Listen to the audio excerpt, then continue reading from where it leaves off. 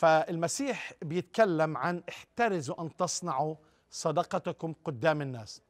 هو يعني بيتعامل مع جوا مع الدافع مش مع المظهر.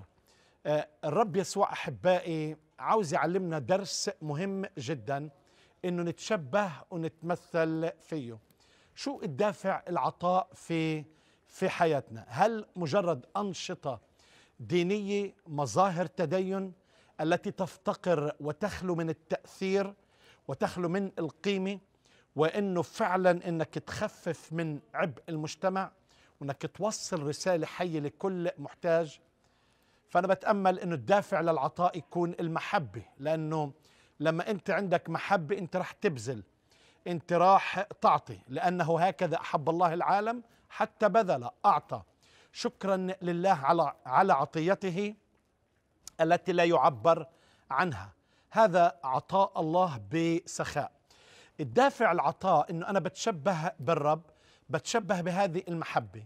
شيء آخر الدافع للعطاء آه، فعلا الشخص اللي بيعطي على فكرة هو شخص شجاع مش خايف عنده ثقة عنده إيمان كامل بالرب إنه الله رح يعتني به فاللي بيعطي هو الشخص الشجاع.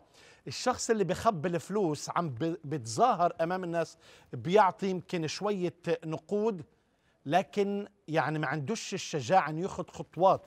زي ما عندنا الشجاعة إنك تبني بيت ولا تاخذ قرض من البنك لبيت أو تبني شيء.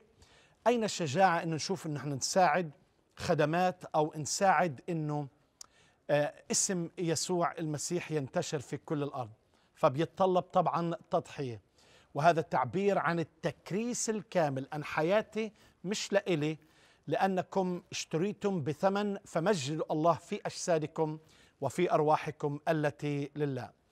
العطاء يقود للبهجة آه بخليك تكون فرحان مبسوط مسرور. آه العطاء بيتطلب نعمة. دائما في نعمة غنية في قلبك اللي بتعبر إنك فعلا اختبرت حضور الله.